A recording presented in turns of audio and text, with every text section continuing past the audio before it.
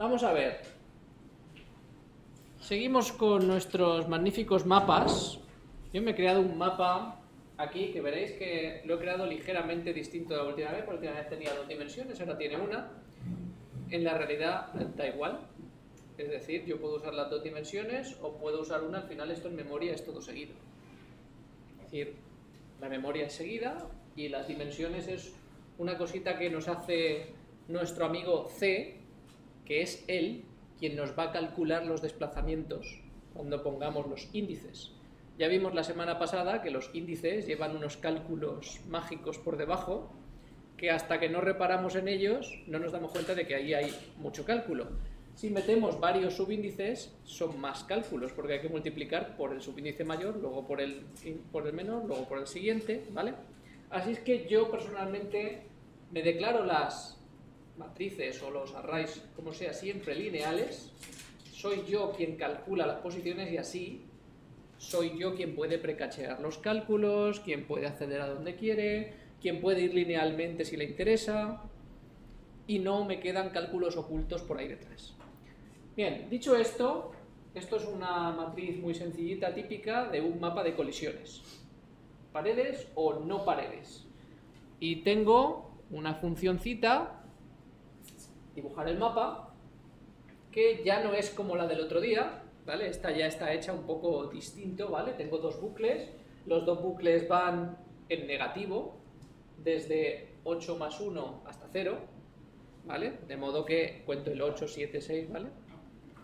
Bien, y aquí igual, estoy descontando para aprovechar las ventajas del ensamblador a la hora de que compruebe la última posición de la memoria, es decir, la última vez que hace la iteración del bucle, al comprobar con cero las instrucciones del compilador, del compilador no, del ensamblador, le permiten hacer esa comparación de forma más rápida.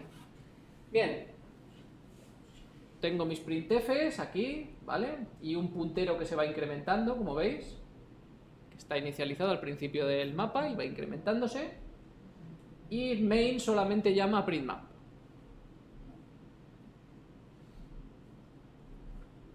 Bien, voy a compilar este ejemplo. Compilo y lo ejecuto. Aquí ya vemos lo que nos está ocupando el ejemplo, ¿vale? C50 es bastante lo que está ocupando.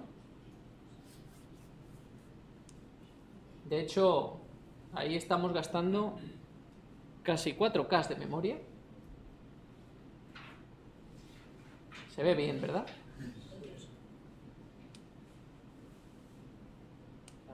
Ahora, no va a querer funcionar. Es lo que tienen las visualizaciones. Tú ya has podido comprobar que a ti también te pasaba, ¿verdad? Bien, ahí tenemos el mapa dibujado. Sencillito, ¿vale? ¿Qué es lo que nos está ocupando tanto espacio, que nos oprime y esas cosas? Vamos a comprobarlo. Abrimos en la carpeta VJ y nos vamos al fichero map. En nuestro fichero map, esto un pelín más pequeño para que se vea bien, vemos que nuestra función printMap, magnífica printMap, ya nos está ocupando un ratito. Pese a que la hemos hecho más o menos optimizada, como más o menos podemos pensar que queda bien, ahí 7 por 16. Entonces 7 por 16. 112. ¿Vale? 112 y 12. 124 bytes es lo que ocupa la función de imprimir el mapa. El mapa que está aquí nos está ocupando 64 bytes, 8 por 8. Imprimir el mapa cuesta más que el propio mapa. Main, que tenemos aquí abajo, no ocupa mucho. Aún así nos está ocupando 17 bytes. Por comparación, main son 17 bytes y la función de imprimir el mapa es 7 veces main, más o menos. ¿Vale? Bien, a partir de ahí lo que nos ocupa de verdad es todo esto, porque las funciones que utiliza printf son las que de verdad ocupan un saco y en concreto hay dos, printf y printforma sobre todo, que fijáis aquí que pasa de 2 a c. Con lo cual, eh, bien, esto no está nada mal porque printf no lo vamos a utilizar nunca, esto es solo para un ejemplo, pero en nuestros programas no habrá printf, utilizaremos las funciones de imprimir de CPC Telera, que no tienen todo el soporte para miles de formatos y cosas, pero que van directas al grano y por tanto ocupan menos. Bueno, ahora vamos a ocuparnos de una cosa en la que estamos perdiendo un montón de espacio. Porque claro, yo tengo un mapa que ocupa 64 bytes, pero mis mapas no van a ser de 8x8 habitualmente. Mis mapas van a ser más grandes. Si yo en vez de tener un mapa de 8x8 tuviera uno de 40x50, estaría ocupando casi 2K en un mapa. ¿Vale? Bien, para visualizar mejor este mapa, vamos a abrir nuestro querido amigo el binario. ¿Es nuestro querido amigo el binario? ¿Dónde estaba el mapa? En la posición 7C. ¿No? Aquí, 10, 20, 30, 40, 50, 60, 70, 7, C. Aquí, C. Aquí empieza el mapa. 1, 1, 1, 1, 1, 1, 1, 1, 1, 0, 0, 0, 0, 0, 1, 1, 1. Lo estoy mostrando en hexadecimal. Pero esto si lo vemos en binario, esto de aquí son 7 ceros y un 1. Esto de aquí son 7 ceros y un 1. 7 ceros y un 1. 7 ceros y un 1. 8 ceros, 8 ceros, 8 ceros. Quiere decir que estamos usando siempre 7 ceros y en el último bit un 0, un 1. Y de cada uno de estos, siete ceros delante siempre son ceros. De, si el mapa lo dividimos entre 8, estamos usando una parte.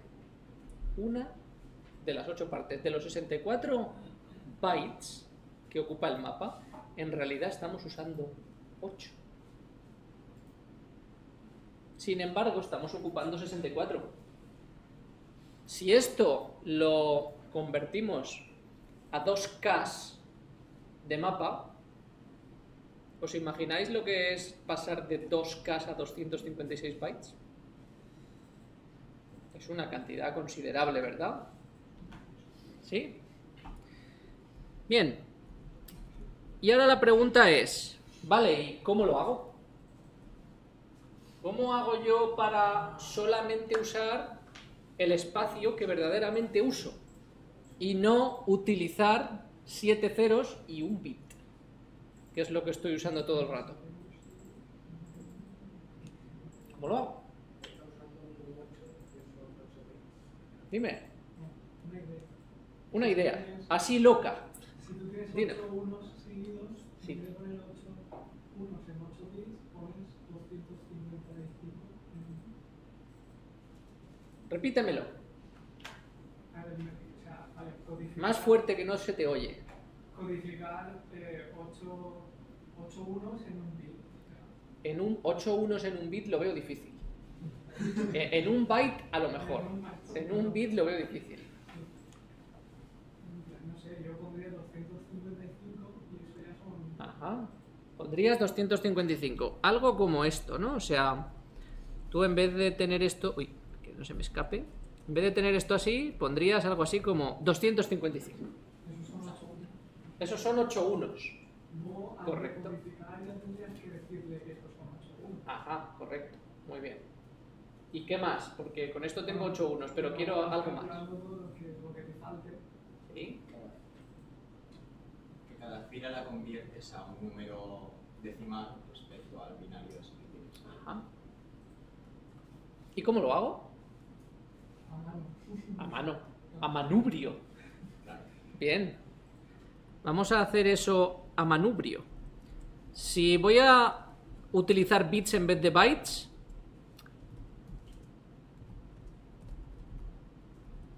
por ejemplo, ¿cuántos bytes necesito ahora para almacenar toda mi todo mi mapa? 8 bytes, ¿no? O 8 bytes. Bien. ¿Qué pongo en el primer byte? Dos. 2.55. 255, porque si vosotros lo decís, pues yo lo pongo. ¿Qué pongo en el segundo byte? 129, ¿no? Sí. Si estos son 8 bits, 128 más 1, ¿no? 129. Los demás, ¿qué pongo en el siguiente? A ver, esto de... ¿Sería posible, por ejemplo, en vez de, en vez de ponerle 255 poner FF? Sí, bien, una mejora.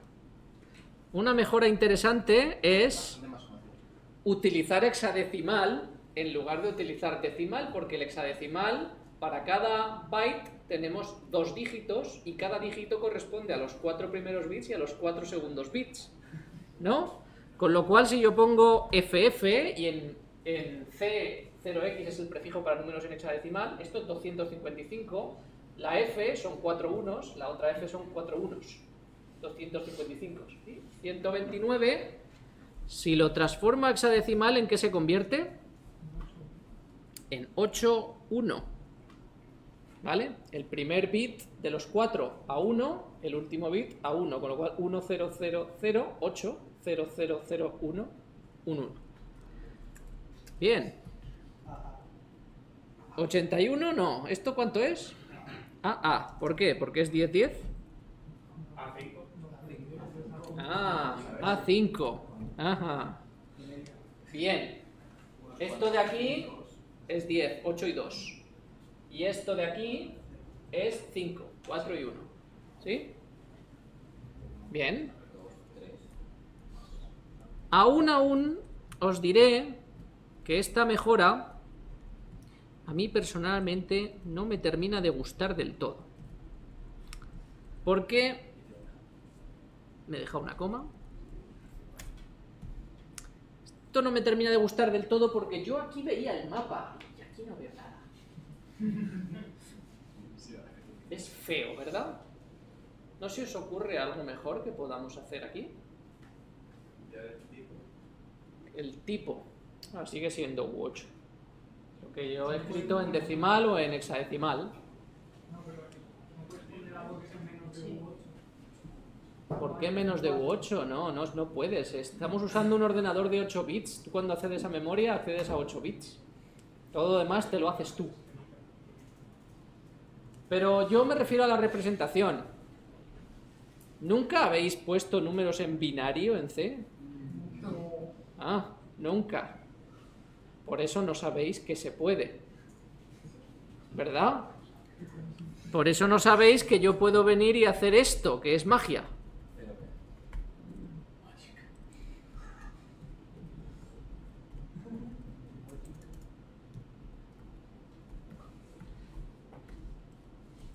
¿Verdad, no? Magia absoluta.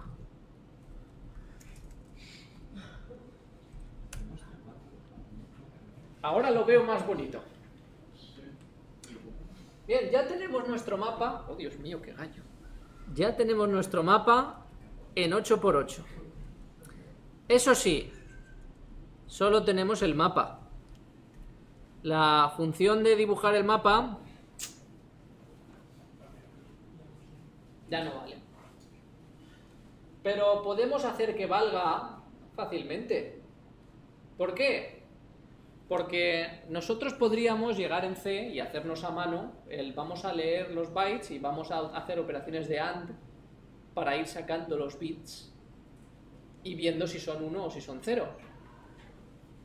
Que no es tan complicado y que deberíais hacer. Pero en vez de hacer eso, tenemos una cosita que se llama CPCT getBit.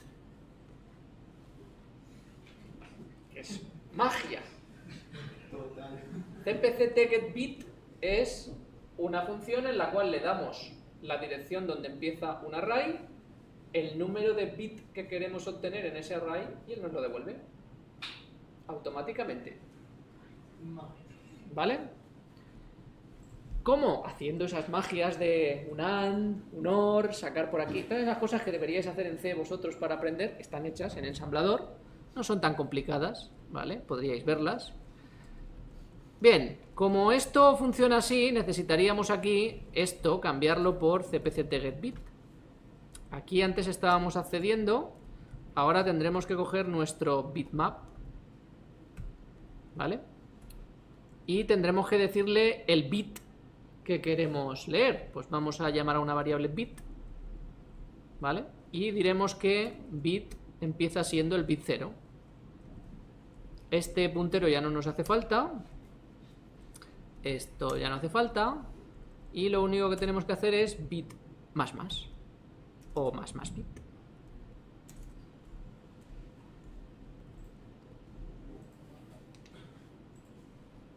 Y ahora tenemos un bit y vamos incrementando al siguiente. ¿Sí? Lo mismo hasta funciona.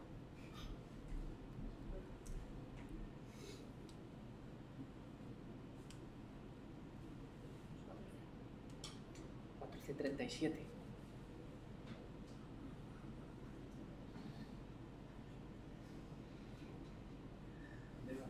Si quiere ir el emulador, claro.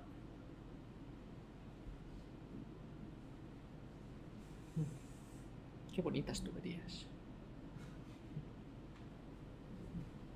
Magia. Acabamos de convertir un mapa que ocupaba 64 bytes en un mapa que ocupa 8 bytes. Puede que la función que pinta el mapa la hayamos incrementado un poco, quizá ha incrementado en 10 bytes. Pero si vamos a utilizar más mapas, que es probable en nuestro juego, puede que tengamos unos cuantos mapas y que a lo mejor los mapas nos ocupen en total 10K.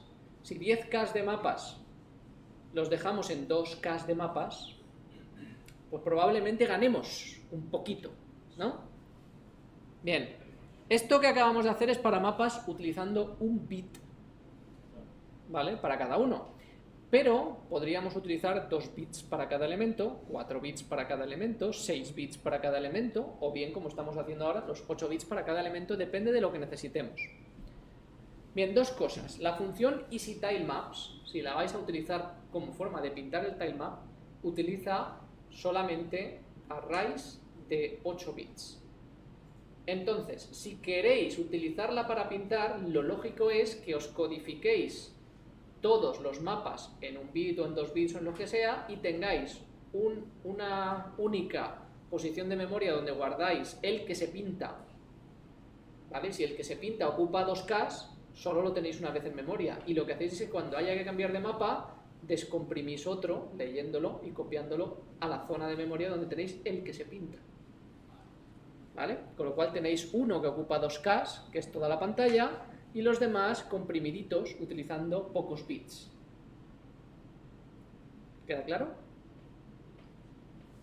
Eso, hay un juego que hicimos recientemente que se llama Kung Fu Guns, que lo podéis buscar en internet, y que hace exactamente eso, si queréis verlo. ¿Vale? Bien, eh, si miráis en la documentación veréis que tenéis más funciones de cpct setBit, get 2 bits, get 4 bits, get 6 bits, ¿vale? Funcionan igual. Y que además tenéis macros, hay unas macros que sirven para no tener que hacer esto a mano, ¿vale? Esto de venirse aquí y definirse a mano los bytes que uno necesita, que no os costará mucho porque vosotros lo vais a calcular, pero hay macros que directamente le dices, quiero 200 bits y él calcula cuántos bytes hacen falta y lo registra y listo. ¿Vale? Con lo cual directamente uno pone en bits lo que quiere o en grupos de 2 bits o en grupos de 4 y para definir esto, cuando uno tiene que usar grupos de 2 bits, de 4 bits, etcétera, esto ya no es tan cómodo cuando hay que usar de 2 en 2. Pero hay macros igualmente que permiten codificar grupos de, de números en 4 bits, en 2 bits, etcétera, etcétera. Todo eso lo miráis en la documentación que está explicado y hay ejemplos. Vamos con otro detallito. Supongamos que yo ahora en mi mapa quisiera dibujar sprites con transparencia. Mis sprites con transparencia necesitan una tabla de transparencia porque es la forma que menos ocupa de hacer dibujado con transparencia. Si no, cada sprite tiene que estar duplicado para llevar la máscara. Y para evitar eso, una tabla de 256 bytes de transparencia que, tal como está puesto aquí, con esta macro, yo la pongo en la posición 100 de memoria. ¿Vale? 100. Porque a mí me parece bien la posición 100. El único requisito para la posición de memoria de la tabla es que tiene que estar alineada. ¿Qué significa esto de estar alineada? Significa que los 256 bytes deben de hacer que solo cambie estos dos ceros, nunca el valor alto. Si sabéis, 16 bits son 8 y 8, que es lo que utilizamos en un puntero. Si solamente cambia la parte baja de un puntero, por ejemplo, si tenemos el puntero en HL, basta con ir incrementando el registro L de 8 bits y no HL de 16 bits. Eso es más rápido y por eso se quiere que la tabla esté alineada, para que sea rápido el acceso. Alineada es que empiece en 00 para que el último byte esté en FF y ningún incremento en esa tabla modifique este 1, no pase a 2. ¿De acuerdo? Así es que la pongáis donde la pongáis, puede ser en 200, 300, 3F, 5D, da igual, los dos últimos bytes a cero para que quepa en todos esos 256 bytes sin incrementar la parte alta, ¿vale? Yo lo he puesto en 100 porque me parece bien, ¿vale? Y ahora, fijaos, yo estoy...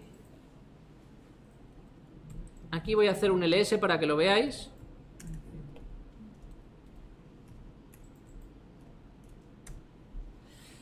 Estoy compilando y voy a cotillear mi binario.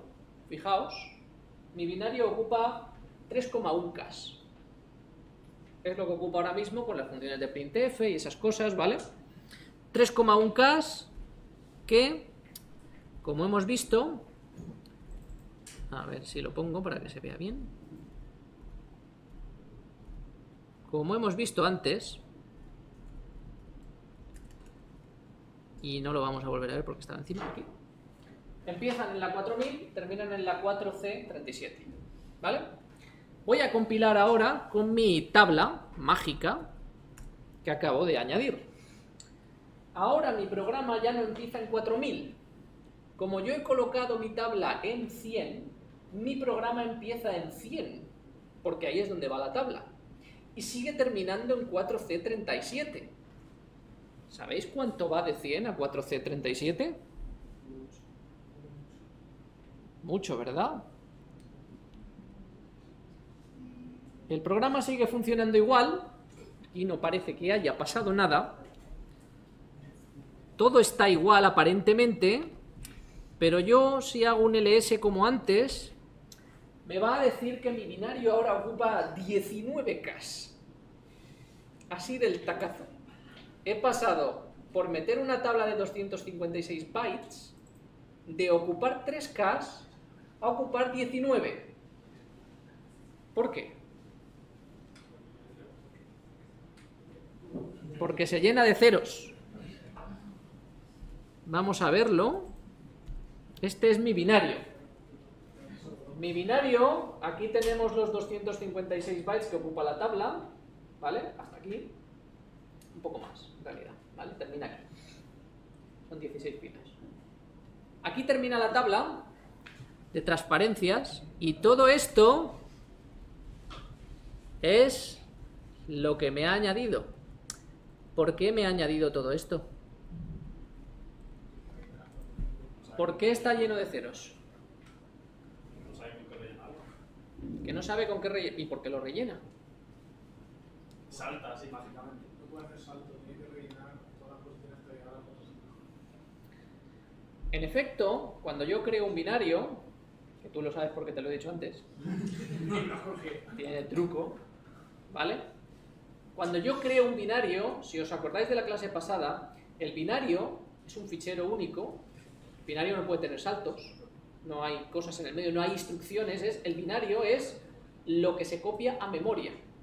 Significa que el binario, esto, que es el primer byte del binario, va a una posición de, de memoria y de ahí en adelante todos los bytes que vengan.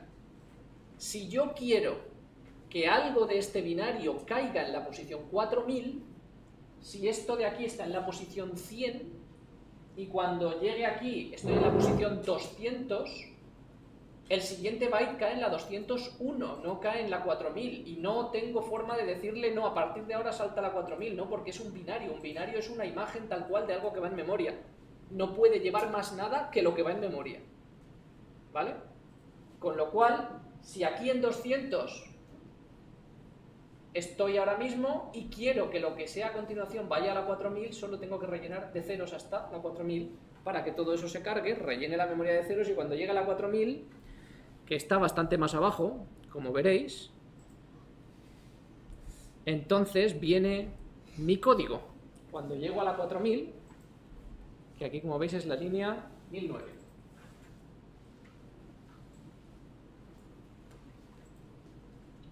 Tenéis que tener cuidado con esto.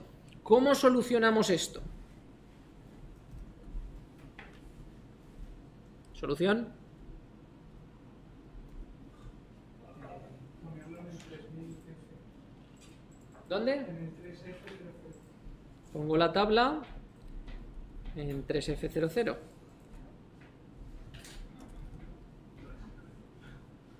¿No? Nunca llegará a 4000 porque como esto es 00, va de 00 a FF, nunca toca el 4000. ¿Sí? Vamos a ver.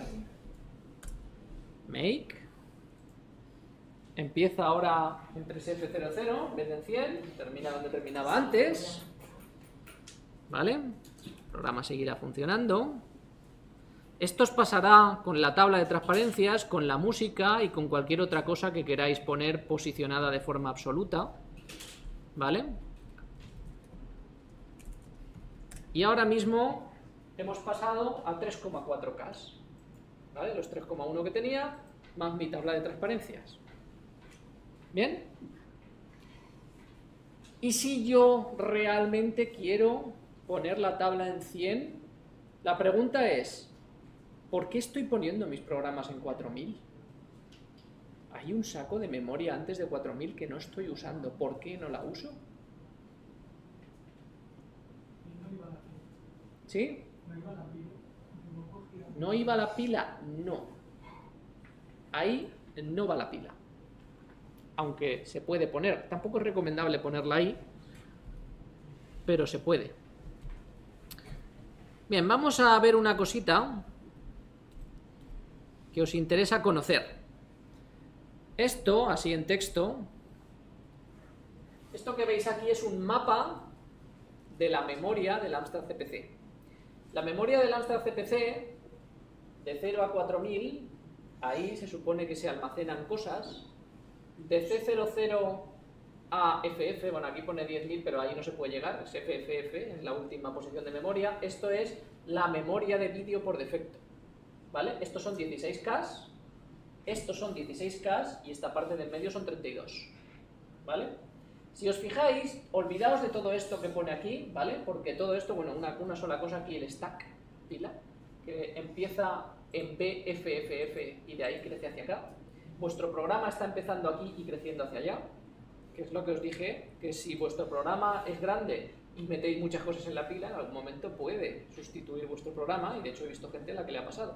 Y entonces, bad things happen, básicamente, ¿vale?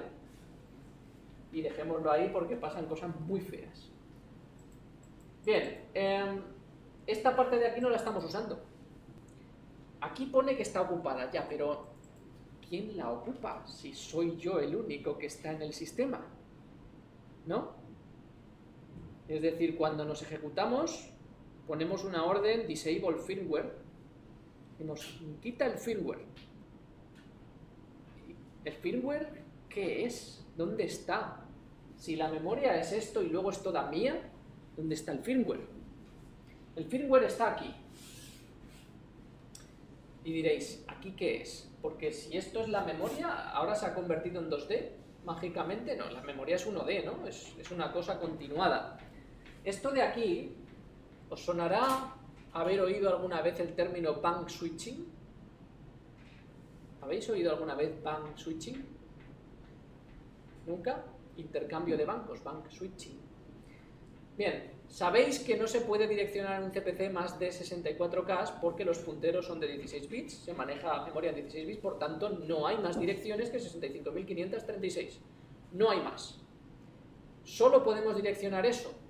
Pero el hardware del CPC tiene una cosita que nos permite decir, oye, cuando yo te diga 4000, puedes leer en este chip de aquí o en este otro de aquí.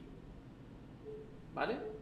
Es decir, en bloques de 16, que se suelen llamar bancos, nosotros podemos decirle al CPC que lea de un sitio o de otro. Cuando yo le diga la dirección de memoria, lee de la 3F05, que está aquí abajo. Él puede leerla de la RAM o de otro sitio, como por ejemplo de la ROM. La ROM del CPC ocupa las direcciones de memoria de 0 a 4000 y de C00 a FFFF, justo solapado con la memoria de vídeo y con las 4000 primeras posiciones de memoria. Por defecto, el CPC, cuando se manda una orden de lectura a la memoria, lee de aquí. Y cuando se manda una de escritura, escribe aquí, porque escribir en ROM no se puede. Esto es la configuración por defecto. Esto es lo que luego además permite este mecanismo al CPC en las versiones posteriores, en 1128 y demás, tener más de 64K, intercambiando los bancos, ¿vale? Diciéndole a uno de los chips que hay en el CPC, cámbiame este banco y a partir de ahora cada vez que yo escriba ahí, en vez de escribir en este que es de la RAM por defecto, escribes en otro que está al lado. Así es que esas direcciones de memoria sirven para distintos bancos. ¿Vale? ¿Me seguís? ¿Eh? Es como si hiciera así y lo intercambiase, ¿vale? Como si fueran piezas y yo estoy escribiendo la misma dirección de memoria, pero he cambiado la pieza y es otro. ¿Cómo cambiar? Pongo una, una SD. ¿Lo imagináis? No, físicamente estos son cuatro SDs que hay en memoria, quito una y meto otra y está leyendo en otro sitio y escribiendo en otro sitio. ¿Vale? Pero todo eso lo hago por dentro. Bien, independientemente de esto, la gracia es el firmware del CPC está escrito en ROM. Estas dos ROM, ahí es donde está el código del firmware, eso que se ejecuta, que os permite escribir órdenes en BASIC, etcétera, etcétera, está en la ROM. ¿Vale? Y, como es lógico, eso utiliza variables también. Para poder leer de un fichero de, cinta o de disco, tiene que saber por dónde va, cuántos segundos le quedan, etcétera, etcétera. Necesita variables para que lo que estáis tecleando sepa dónde está el cursor, dónde escribir en pantalla, etcétera, etcétera, necesita variables. Las variables están aquí en memoria. Por eso deshabilitamos el firmware, porque al deshabilitar el firmware, toda esa zona que el firmware utiliza para escribir cosas y saber dónde están, se vuelve nuestra. Porque si no, cuando la sobreescribiéramos, el firmware se volvería loco y entonces pasarían cosas raras. Pero ¿cómo se ejecuta el firmware? Está en memoria, pero ¿cómo se ejecuta? Se ejecuta a través de un mecanismo que tiene el CPC que se llaman interrupciones. Seis veces por fotograma, o lo que es lo mismo, 300 veces por segundo, el procesador, la CPU, por una de sus líneas recibe una señal de interrupción. Esa señal de interrupción le dice al procesador, para lo que estás haciendo y salta a ejecutar este cacho de código. Para eso, ¿os acordáis que cuando os presenté el diagrama interno del procesador habían dos copias de los registros? Para eso se usan esas copias de los registros. Y aunque como programadores podemos usarlos todos, en realidad lo normal es que usemos solo los registros principales, porque cuando viene una interrupción lo que hace el CPC es cambiar el banco de registros y utilizar el banco alternativo para gestionar el trabajo en interrupción y luego, cuando termina la interrupción, vuelve a cambiarlos y todo está como estaba. He saltado a otro sitio, he ejecutado cosas, he vuelto y todo está como estaba. ¿Vale? Esa es la idea original del CPC. Aunque si, si nosotros gestionamos también las interrupciones, podemos utilizarlos. Eso es una de las cosas que aprenderéis a hacer cuando queráis poner la música bien y cuando queráis hacer distintas cosas que funcionen como es debido. Pero de eso hablaremos la semana que viene. Bien, las interrupciones solo nos interesa una cosa de ellas. El CPC tiene varios modos de interrupción y está por defecto en uno de ellos. Y en el modo en el que está, aquí hay una dirección de memoria, que es la 38 en esa decimal, donde se guarda un cachito de código que es el que ejecuta 300 veces por segundo. Cada vez que salta una interrupción, viene a parar a 38 y ejecuta lo que ahí haya. La orden disable firmware lo que hace es parchear esa zona de memoria, porque esa zona de memoria es exactamente la que da la orden de saltar, activa los bancos de memoria adicionales y salta el código de la ROM. CPC Telera lo que hace cuando hacéis disable firmware es venir a 0038, parchear ese cachito de código y hacer que lo único que haga sea hacer red. Volver. Yo he saltado, vuelve. Ya está. Con lo cual no hay firmware porque ya no se ejecuta. Solo haces red y punto. 300 veces por segundo. ¿Vale? Eso significa que de aquí para arriba podemos utilizar toda la memoria. Toda. ¿Vale? Estamos poniendo nuestro programa en 4000 solo porque en 4000 vamos a ser perfectamente compatibles con el firmware y con todos y hacemos un programa y no queremos poner disable firmware por lo que sea. ¿Vale? Por eso por defecto se pone en 4000. Y por otro motivo, como os decía, esto está solapado. Hay algunas funciones de CPC Telera, como por ejemplo las de pintar caracteres. Cuando pintáis un string, sale con la letra del sistema. Las letras del sistema son definiciones de caracteres de 8x8 píxeles que están guardadas aquí, en ROM. El código que pinta eso en pantalla de la función drawString de CPC Telera, concretamente no la drawString, sino la drawChar, que es la que dibuja carácter a carácter, ese código activa esta zona de memoria de ROM, lee de ahí y pinta en pantalla. Hay un problema. Si una función drawChar cae en esta zona de memoria, el programa petará en cuanto intentéis escribir una cadena. ¿Por qué? ¿Qué va a pasar? La función, imaginaos que está ejecutando este código de aquí y en este código de aquí pone voy a dibujar un carácter. Así que lo primero que hago es activar este módulo de ROM para leer de ahí. Pero claro, en cuanto activo de este módulo de ROM, el siguiente, el siguiente cacho de mi programa que está en RAM ya no lo puedo leer. Lo voy a leer de aquí. Con lo cual, el siguiente código que se ejecuta no es el trozo que viene a continuación de la función que está en RAM, sino lo que sea que haya aquí en ROM. Que puede ser aleatoriamente cualquier cosa y normalmente hará que reviente el programa. Conclusión, para que funcionen las funciones de dibujar carácter tienen que estar de aquí para arriba. Para que cuando activen este módulo se pueda seguir leyendo la función y también se pueda acceder aquí. ¿Vale? Sabiendo eso, y sabiendo que no tenéis que sobreescribir la zona que está en 38, podéis poner donde queráis vuestro programa de inicio, donde queráis, podéis escribir datos donde queráis y tener cuidado única y exclusivamente con las funciones de dibujar caracteres. Esas tienen que estar de aquí para arriba. Estando ahí, que sabéis que podéis comprobarlo en el fichero .map, ningún problema. Dime. Entonces, una cosa, yo tengo una función y la tengo en zona de memoria que sería de la ROM, pero no estoy molestando. Y luego ahora tengo una función de caracteres, pero la tengo, por ejemplo, en la 4100. Cuando se haga esa función de caracteres, no se va a interrumpir por el cambio, o sea, mi programa va a seguir después del cambio. No habrá problema. La función drawchar, que dibuja caracteres, lo que hace es habilitar esta zona de memoria para lectura mientras pinta, luego la deja como estaba, deshabilitada. esa es la única función en CPC Telera que tiene que estar por encima de 4000. Drawchar. ¿Vale?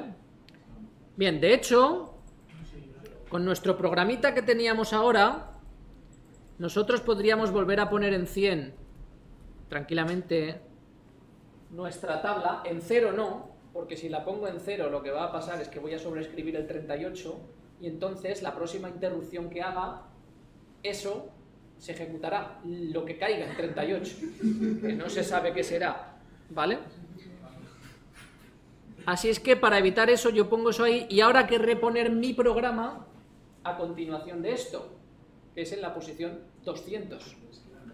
Para eso yo lo que hago es irme a la carpeta de configuración, al build config, ¿vale? Y en el build config tenéis una maravillosa variable aquí que pone localización del código Z80 en 4000. Pues yo vengo aquí y le pongo 200. ¿Vale? Y ahora hago otra vez make. Y nuestro programa pasa a ocupar desde la 100 a la E37. Que aunque ocupa lo mismo, suena como a mucho menos.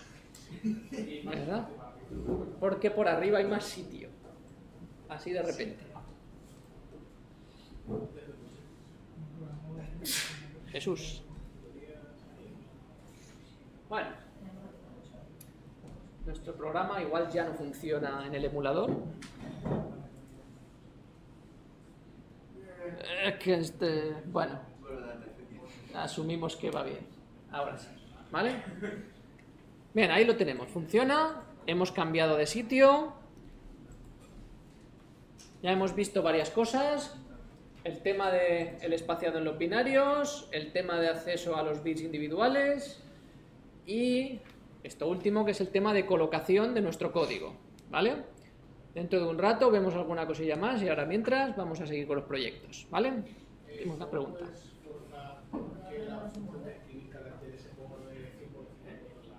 Forzar que la función de escribir caracteres se ponga por encima. Vale. Técnicamente no puedes. Pero en la práctica tienes mucho control sobre dónde colocar las cosas. Como tienes mucho control sobre dónde colocar las cosas, tú cuando compilas tu binario va a enlazarse con la librería. Normalmente eh, tu código, el que tú produces, va a ir antes que el de la librería. ¿vale? Todos tus binarios objeto, cuando se enlazan, van a ir antes del de la librería. Cuando tu código es grande, normalmente la librería va al final de la memoria. Si por lo que sea no fuera así, que tú en la forma que has configurado tu proyecto, la librería te lo enlaza cerca del principio del binario, lo que tú puedes hacer es parte de tu código moverlo. Y la parte más fácil de mover son los datos. Cuando tú necesitas un espacio de 2K, por ejemplo, para almacenar tu mapa de memoria o necesitas 4K para los sprites o lo que sea, los puedes posicionar tú al principio de la memoria y poner tu programa a continuación. Tú podrías poner, por ejemplo, tu programa en 3000 y utilizar lo que hay antes para almacenar ahí tus sprites, tu mapa descomprimido, tu lo que sea. ¿Vale? Entonces siempre si no puedes posicionar a mano, que en principio una función de librería no la puedes posicionar a mano porque viene por el compilador, lo que sí que tú puedes hacer para que se desplace es colocar las cosas de otra manera. ¿Vale? Lo único que no deberíais de colocar nunca en, la, en 0 a 4000 es la pila. Porque la pila de programa es la que se utiliza para saltar, para hacer red, para ir y para volver a las funciones y cuando se salta, particularmente a la ROM y esas cosas, hace falta la pila para volver.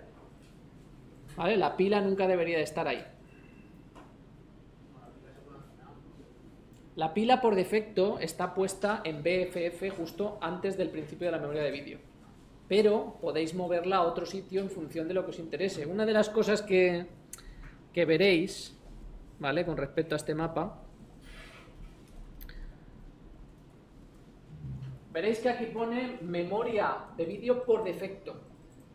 La memoria de vídeo se puede cambiar y se puede jugar con ella. Los chips del Amstrad permiten moverla para hacer scroll y permiten duplicarla para hacer doble buffer. Una cosa típica que se hace es poner aquí, en este último banco, un buffer de memoria y en el banco anterior de 8000, que aquí no sale, de 8000 a C000 otro banco de memoria.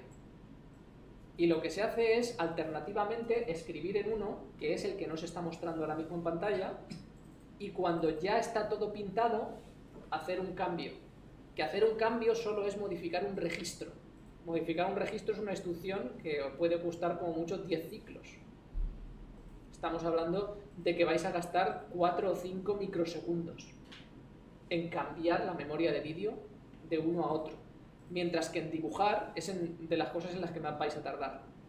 Esto es lo que permite que muchos juegos no parpadeen en absoluto y, aunque puedan ser más o menos lentos, no se perciba el dibujado.